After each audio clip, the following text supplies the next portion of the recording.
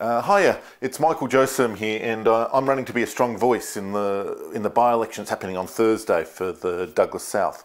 Um, however, before we get into any of that business, uh, just want to invite you and your whole family come on down to Castletown Tin Bath races uh, this afternoon. Uh, back before this uh, whole election campaign was even announced, I I said that uh, I would uh, take part in a bit of a charity fundraiser. See, yesterday was my birthday. Uh, I turned 39 yesterday, uh, and so uh, as a result, um, I thought uh, it'd be a fun birthday thing. Head down to Castletown for the Tin Bath races and and take part in a charity fundraiser for the Manx Solidarity Fund basically, uh, as part of the whole Tin Bath festivities, um, there's a little bit of a what they're calling a flying competition or flying attempt. Uh, and basically, what's going to happen is I'm going to run down uh, the uh, Castletown Pier. Um, like a, like a runway, as it were, uh, and then I'm going to fly gloriously um, across uh, Castletown Harbour it might be a little bit of an exaggeration because running is a generous word to describe what I do, um, which is more accurately described as uh, as uh, hobbling like a three-legged giraffe. Uh, and uh, and second of all, I'm going to fall ingloriously into Castletown Harbour. Um, going to make a mess of myself. It's going to be ridiculously wet uh, in the harbour. Hopefully the weather is dry. Um, but uh, it's all for a good cause. It's all for the Manx Solidarity Fund. And so over the last few uh, few months, so many people have been affected by the whole um, coronavirus thing. And one of the things that I think is great about the Isle of Man is there are so many people who are willing to help out neighbours. Uh, and so the Manx Solidarity Fund is a really good manifestation of that uh, because it's basically it's neighbours helping out neighbours. Um, some big corporations like Zurich and, and others have chipped in big chunks of money, um, which is good. Um, but it's all fundamentally all there to support Manx people who are going through a bit of a tough time. So um, I'm doing that on um, on this afternoon. Uh, so come on down. Um, on the on the by-election business, um, as I make my tea here, um, on the by-election business. Uh, actually, you know, chatting to people over the last uh, few weeks, so many issues have been picked up in this week's Courier.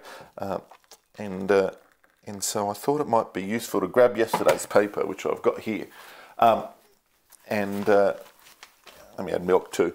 Um, just a splash. Um, but uh, you know, just just on this front cover alone, um, it really picks up so many different things that people have been chatting to me uh, uh, as I've been knocking on doors the last uh, last couple of months. Um, first of all, GCSE joy for many. Congratulations to everyone who's uh, who's got their GCSE results and are happy with them. Um, was a bit of a debacle in recent weeks with uh, with the other results. Um, it is good that you know perhaps belatedly, but uh, it looks like like most of the um, exam results are going to be corrected in one way or another. Uh, but what really I've heard from uh, parents and kids and, and, the students themselves has been how important it is that grades are, are fair. Uh, and that's really got to be the bottom line. Uh, it's unfortunate it's taken a, a, little bit longer than we would have liked. Uh, and uh, you know, I'm, I'm, sure there are still some anomalies that will need to be fixed. Um, so if there are anomalies, let me know. Um, feel free to drop me an email or text me or whatever works. My phone number is 488 557. Um, the other thing that people are expressing some concern about is up here on the right hand side, um, 600 people are returning to the island uh, every week, uh, which is, um, you know, they're Manx people coming home, which is good, we should welcome them home. Uh, but one of the things that uh, I guess I have a disagreement with the government's policy about is I believe that we should be testing, testing, testing, testing. Uh, our on island facility has capacity um, for up to 200 or at least 200 people a, a day to be tested um, for the coronavirus. Uh, if we've got 600 turning to the island every week, then that's, what's that, like 80 or something, um, is that right? 80, 90, thereabouts, um, people uh, a day are coming back. So we certainly have the capacity to test them. And so my very simple view to the, to the government is that we should be using that capacity.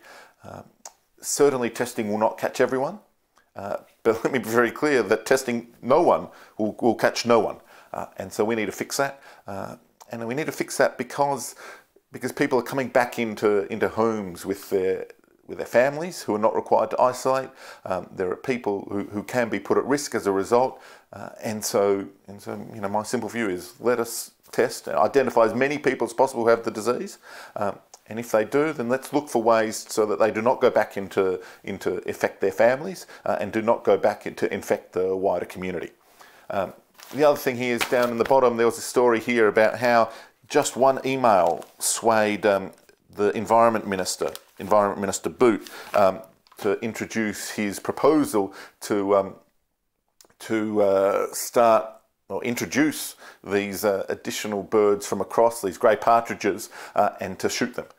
And uh, you know, it was very good that we were able to, as a community, we were able to, you know, be so loud and vocal to, to defeat that uh, that proposal. In, in, fact, the minister never even proposed it in, in, in Tynwald in the first place, uh, formally.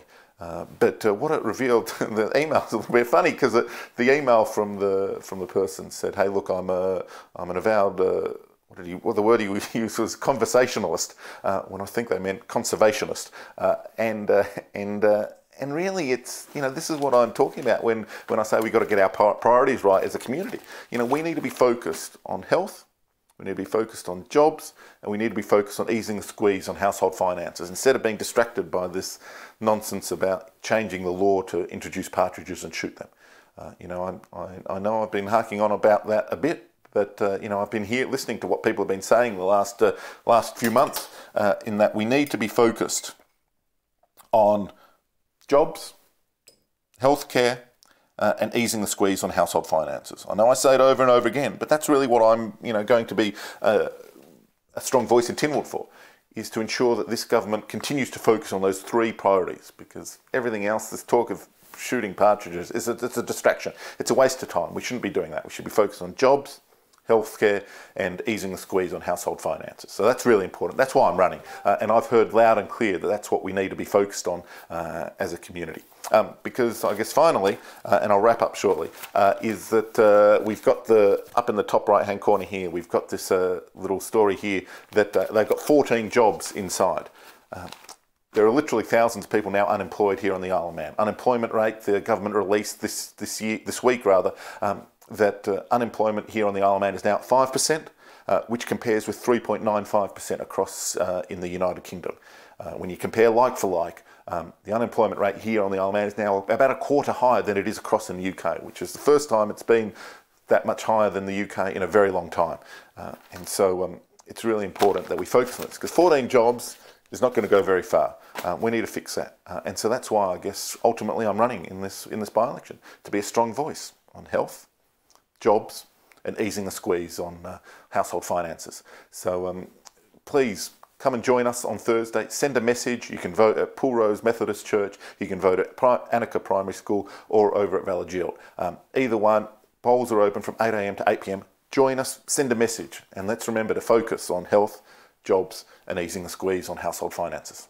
But other than that, this afternoon, come on down to, to Castletown Tin Baths. Should be a good day for the whole family. Should be a bit of fun. Uh, you can see me make a fool of myself, um, hopefully for a good cause, and uh, and uh, should be a bit of fun. So I'll hopefully see you this afternoon. Um, otherwise, Thursday, 8 a.m., 8 p.m., send a message that we need to focus on jobs, health, and uh, easing the squeeze on household finances.